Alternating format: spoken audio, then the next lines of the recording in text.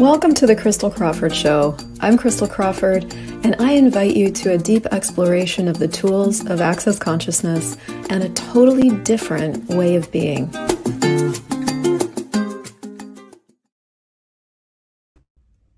Go with me here for a second. Are feelings creative or are they ultimately destructive? And what is the difference between indulging in all your feelings and consciousness? I am so glad you asked. and I have to tell you that this show is being recorded at a time in my life where I have given myself probably the most permission to be in the muck than any other time in my life consciously. And I want to also tell you that I'm so grateful that I did it. So, for those of you guys that are new to me, my name's Christel. I'm an Access Consciousness certified facilitator. I facilitate more consciousness, and most recently, I stopped facilitating consciousness for myself. So, if you've been kind of tracking with me on social and listening to my shows, I did an, a life update that said, Hey, listen, I've been having a hard time.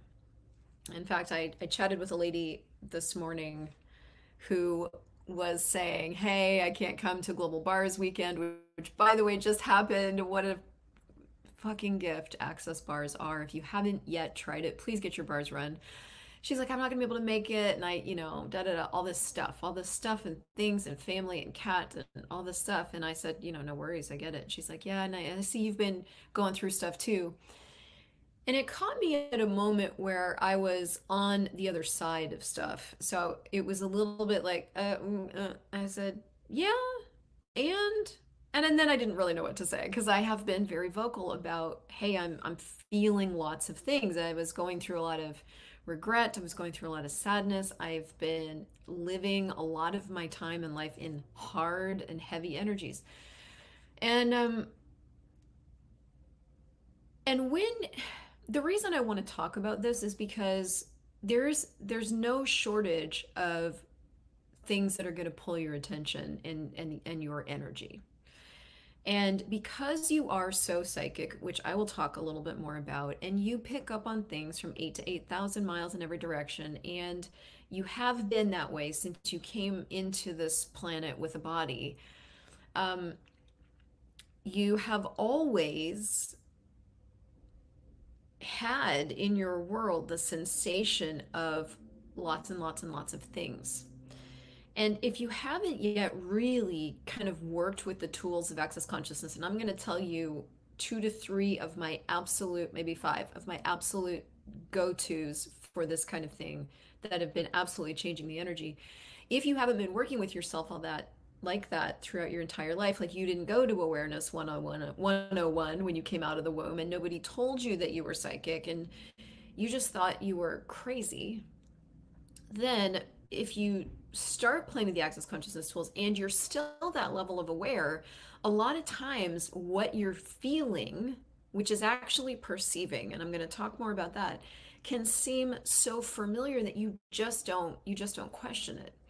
And so you know like three months ago i moved to a new country again. I mean this is my country but this is a very big country. So every area and every place has its own energies. And i had very high hopes for what that was going to do for me and how i was going to feel and what i was going to just feel empowered to create. And i'm not going to lie like a month into it it it changed. It just wasn't it didn't feel that way. So I was also going through this weird moment where I just didn't want to work at it anymore. I was like kind of tired of where I quit. I quit on myself. I quit using the tools. I was like, I quit using the tools. And so so and so things got harder and harder and harder and harder to where I was like, I I maybe I'll just quit everything maybe I'll just burn it all down and I'll go sell real estate in the middle of Alabama somewhere, you know, or whatever. And the reason I'm telling you all of this is because your awareness without the acknowledgement of it as awareness will take you down. That's how powerful your awareness is. Because your awareness shows up as things you call feelings. And because so many times those sensations in your world that you would call feelings are so similar to things you've felt your whole life, they will seem real to you. And by real, I mean something that needs to be fixed. Now, we talk, I've talked a lot about how feelings are the lower harmonic. You've got your thinking, feeling, emotion, sex and no sex, lower harmonic thing going on. And that's what we would call this reality. That is literally where most of the world functions from is thinking and feeling and emotions and receiving but no receiving. Sex and no sex. And so, because most of the world functions there, it's very, very, very easy to one, pick up on it, and two, think it's yours because you are a spherically aware being. And so, in that sphere of awareness, which is eight to 8,000 miles in every direction, that's a pretty big sphere. You got, there's a lot of shit going on war, destruction, points of view about all that war and destruction, um, you know, drugs, fighting, anger, rage, fury, hate, blame, shame, regret, and guilt, sadness, pain, depression, loss, anxiety. You've got economies and wars and governments. And I mean, I can't even get to the whole list. And so, as a super aware spherical being, if you do not ask those sensations in your world a question and you assume because it feels familiar that it must be yours, then you are going to suffer. And I don't know if I've ever gotten that as clearly as I do. So I, about five days ago, made a big, big demand of myself. And I'm like, I am, and I don't know what tipped it. Something tipped it. I wish I could tell you what tipped it. Something tipped.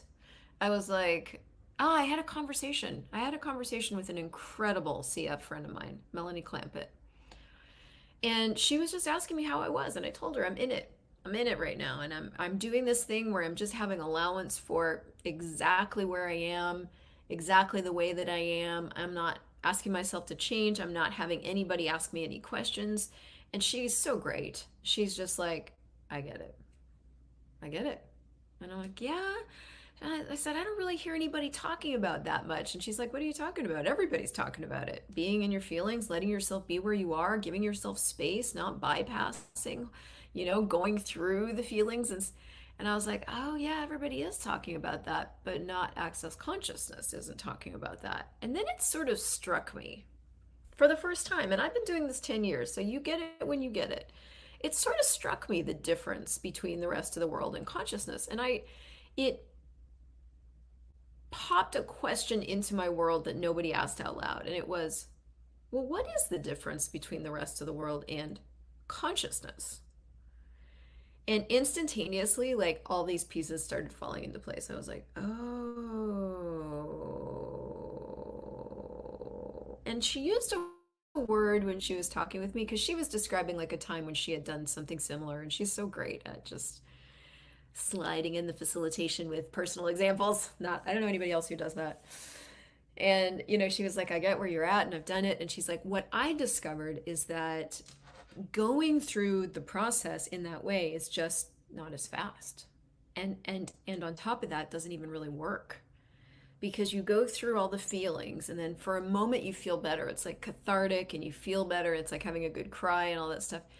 And then you have to go through it again and then go through it again and then go through it again. And sure enough i could look back on the last three years of my life and probably the you know the 18 before that before access consciousness and I could confirm that she was indeed correct. It never did really end. It was a pattern that would keep repeating itself. Because inevitably there would be another stimulus, another trigger. You'd still have those same feelings. You'd still need to talk about it. You'd then have to like organize your lives around triggers because they're there. What are you going to do about them? You now have to avoid this and not do that and not be around this. And that's exactly where Andres and I were getting. We were like starting to form our lives around triggers. And which was starting to be more and more like annoying to me. I'm like, I this is this is making my life smaller. I'm I'm feeling worse. Like no, there's nothing about this that's ease, joy, and glory. Nothing. Nothing. I, I don't know what I needed this experiment for, but I'm just I'm discovering things. It's not that nice. And so as she was talking and I, I was opening up my world in a different way, I started, what is the difference then between like going through all the feelings and consciousness? And that's when it really hit me. She's like, in all the feelings, she used this word, it's what we're making significant. Now, I think in a, on a normal day that would have offended, I would have gone to offense about that. I would have been like, I'm not making anything significant. I would have made it, I would have made the significant significant. But there was space there. Oh, I'm to sneeze so bad. Excuse me. And that word, it's what we make significant, started opening things up for me in a way that I've never had access to before. I could look at everything that I was doing and see how significant I was making it. And for the most part, I was making pa- the past very significant what I thought I should have chosen in the past. The fact that all my money was in the past, you know, like I was, I had a lot of significance around what I had chosen in the past and where I was now based on the past. And so we finished up our conversation and I got off and I was like, I don't think I want to keep doing this feeling thing. I don't think I want to keep doing this. So I woke up that next morning and or somewhere in the next 24 hours, I sat down with my finances. And, and I kind of did a video about this, but I'll tell you again. I sat down with my finances and I and I did the clarity exercise. And you guys have heard about this. You want to have money in your life, sit down and get clear on what it takes for you to live. So I did it. And then I got to the end of the, the number that you get, and I was pretty meh. I was like, mm, don't care. And it, that's when it hit me again. I was like, well, then what would these numbers be if you were truly living? where would you be living and what would that cost and where would you be and what would that cost and what, what would that it was double it was double my numbers were double and i was like ah and and all of a sudden i came alive i was like oh my god that's there's that energy of life and living. So in that moment i recorded for myself an energy pull. And it, it contained all of those delicious living fun bubbling energies that i had discovered in my clarity exercise. And i was like i am I am going to consciously, consciousness, choose to create and generate something new as my life right fucking now. And so I put that thing on my phone. I got and I put it in the calendar and I got up and I, ever since then, I every single morning I have been doing that energy pull and generating a new possibility and reality in my world. Now, so that's tool, that's a tool. That's a tool. The energy pull is a tool. The clarity, financial clarity exercise is a tool. So really getting clear on your numbers, getting clear on your living numbers, forming your energy pull or going to energypulls.com and grabbing one because they're awesome. And then the the probably the fourth pivotal key thing that I've had to do over the last four or five days because I had just come through a pretty strong period where I kind of dropped the tools and was like, fuck it. fuck you guys. You're never mind. I'm just gonna be broken over here for a while is because fuck you guys. So no good reason, just broken. The fourth thing I've really had to do is continue to be aggressive with the choice for my reality. Now, I have a lot I have had a lot of you ask me over the years, how do I keep my reality? And my response is you can't. You can't keep it. But you can continually choose it. So, yesterday, so you know, I mean, this is a process, right? We've got do you have people in your lives? Like we've got people in our lives that care about us. We got people in our lives that have other shit going on. We got there's stuff going on in the world. We're on social media. We've got kids. We've got stuff. We've got businesses. Right? There's stuff. So so life is not static. Life is constantly moving. So there's a need for tools that move with you so that you can move through and create your life. Right? So for a minute, I felt really good. I had access to my reality. When you have access to your reality, you do fucking feel good. But guess what's very easy for you to give up? Your reality. And usually we give it up in favor of other people's realities and points of view. Well, one of the persons who it's really easy for me to give my reality up for is Andres. He's close to me. We're in a relationship. He's the primary, he's my primary person. And this is not him being wrong. This is just a conversation about I have what works for me as a reality and he's got what works for him. And when we try to force the other one into our reality we always have problems. I wonder why that is. And it's not an intentional thing. It's just the thing you learn to do. So you know yesterday he had a moment. He's he's a person. He had a moment. And I reacted initially and then took myself away. And I realized that this was one of those moments that I have been allowing to change entire spectrums of days, which then has led to multiple days, which then has led to multiple. And I was, so I took myself on a walk and I'm like, no fucking way am I living here. So then I had to actively use all the tools and I picked three right off the top. All of life comes to me with ease, joy, and glory. All of life comes to me with ease, joy, and glory. All of life comes to me with ease, joy, and glory. All of life comes to me with ease and joy and glory. All of life comes to me with ease and joy and glory. I literally said it, I think, 50 times. Say it as many times as you need to. The next one was everything's the opposite of what it appears to be. Nothing's the opposite of what it appears to be. Everything's the opposite of what it appears to be. Nothing's the opposite of what it appears to be. Everything's ad infinitum. And the other thing I did was like, who does this belong to? Me or someone else? Someone else. So my target yesterday morning was to, to use enough tools on repeat until I was out of my head. Because because what has been happening is I will go into what somebody else says is real and true and find out whether or not they're right. And this is the thing I think I think this is the thing we do that is the thing that fucks ourselves over. We go into what it is that we are actually just aware of to find out why it's there, what's wrong with us that it's there, and where it's right instead of going, okay, cool, that's interesting, and like moving on. And those two little sentences, okay, that's cool, and then moving on is the biggest muscle building thing ever in life required for you to continue to choose your reality. And where that gets really challenging is when it's somebody you care about and they're imposing their point of view into their world where they need you to validate their reality based on just what they think they need and your belief that you have to validate their reality because you care because they need you to and of course we all know that if anybody needs anything from you you of necessity have to be there for them because if you're not there for them you don't care. Hello fifth element the need to be a savior.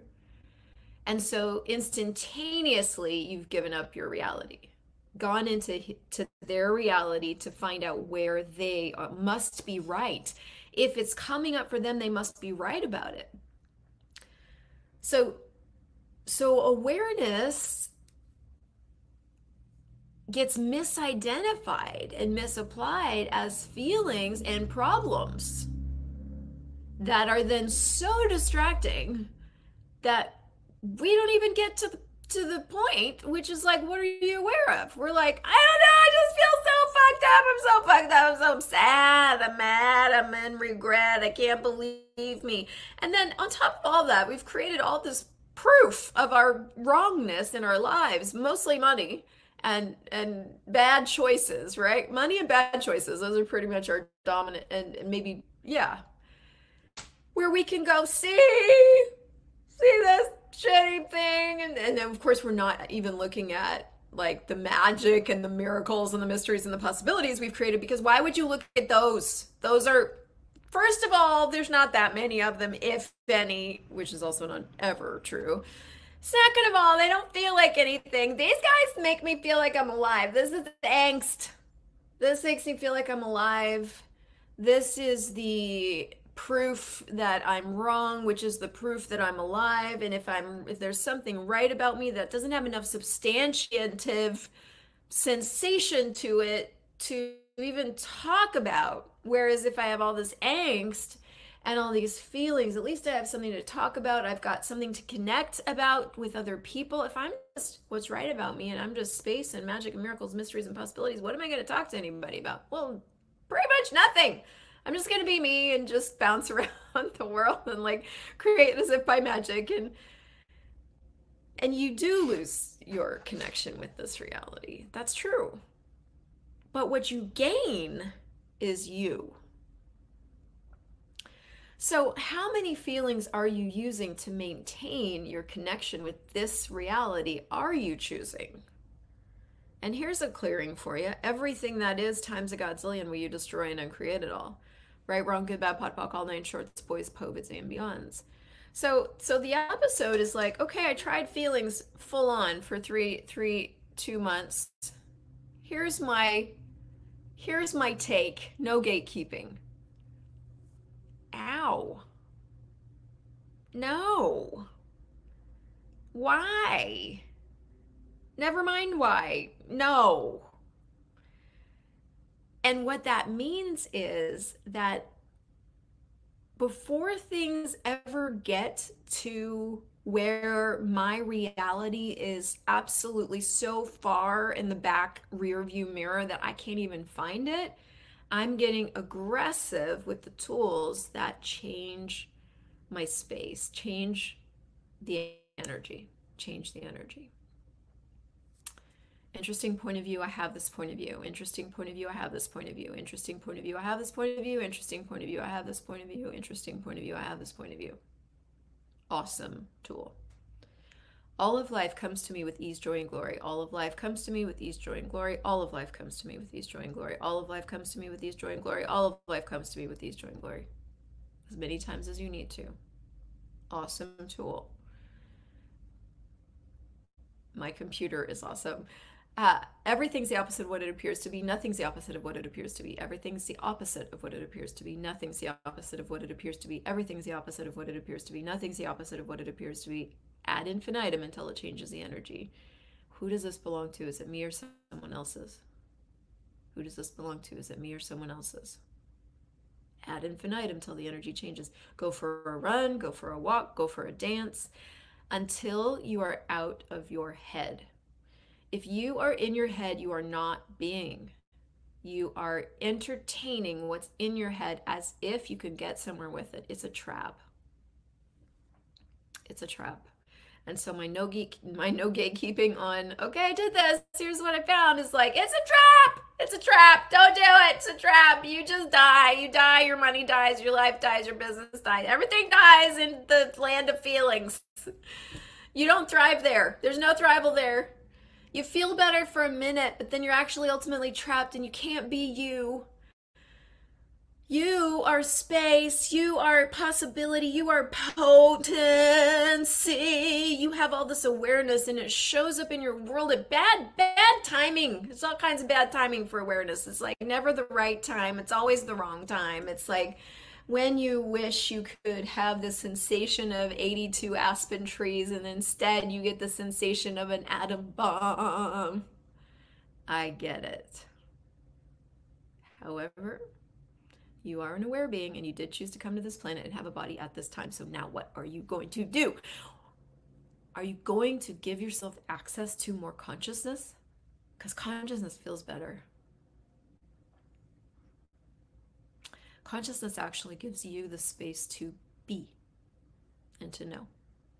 And here was the last thing that I did that really, really contributed. So, yesterday, when I'm in my new phase of like, no, we're creating. And by the way, you're invited to a free call called Let's Create because I'm like, I don't think I'm the only one that's been in the goo of everything, just gooing around. Like, let's create. So, there's a link around here somewhere, up or down, where you can come and then invite two of your friends if you want a really cool PDF thing I created. Um, the last thing I did was and and you guys have to understand that I've been so aggressively not using the tools that I had to be of equal aggression with the tools and I know I, ta- I used to I used to talk about aggression a lot and then I dropped it but it's back. And so I aggressively, as I'm walking around the apartment, right? I'm changing the energy. I'm getting things moving. I'm like, this is changing now. And and and so the last thing I did that worked so well is, what do I know about this? Now we have got to start to get that there's a difference between perceiving and knowing. You perceive all kinds of things, all kinds of things, all kinds of things, good, bad, and ugly. You perceive it all what you know and what you perceive are not the same things. So, what do I know about this? Now, I could give you a little more details, but you know, like my person was having a minute and was like, oh my God, mm, uh, like, you know, rock and rolling inside of his being. And I went into his rock and roll to go see, is this true? Is this real? Do I need to be, do I need to change my ways? Do I need to do something different? And, th- and so then I got into his rock and roll. So now we're both rocking and rolling. And that's what I left the house to go change the energy on. I'm like, I can't, I can't. No. I am something here that is different than this. What do I know? Now, when you tap into what you know, your eyes will always go down. You will always get present. And you will be still and know. You will know. So I went through the things that I know about me. I know this about me. I know that I always show up. I know that this is going to change. I know that this is temporary. I know that I'm on my I know that I have already chosen something different. Cuz I because doubt the rock and roll of doubt and fear, you jump into that and you are lost. But you jump with equal measure into knowing you are found instantaneously. Because the truth is, could an infinite being ever really be lost? No. So you can, in a second, find yourself again. But finding yourself is knowing. And that completely changed the rest of my day. That changed my choices. That changed our conversation that we had later in the evening. It was such a generative conversation because I wasn't mad. I wasn't reactive anymore. I was just like, this. And he's like, yeah. And so we were able to be an even greater gift for each other. I jumped on and did started doing a 30 by 30 in the group. Like other people got to benefit. Like he jumped on this morning and jumped in with me. So now he's going to benefit. I mean, literally, the choice for consciousness fruited.